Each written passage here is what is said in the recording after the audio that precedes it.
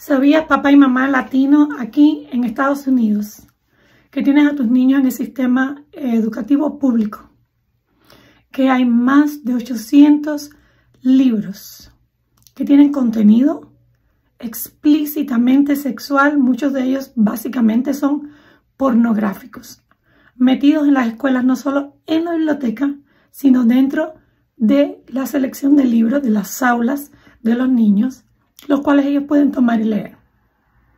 Bueno, aquí en esta imagen les muestro lo que consideran los 10 libros que han sido más retados aquí en el estado de Texas. Grupos de madres, de padres, eh, Moms for Liberty o Madres por la Libertad, que es un grupo que está involucrado en todo esto que tiene que ver con la educación de los niños y el adoctrinamiento en las escuelas. Esta lista de los 10 más retados es simplemente eso, los 10 más retados. Pero no quiere decir que la lista quede ahí. Son más de 800 libros.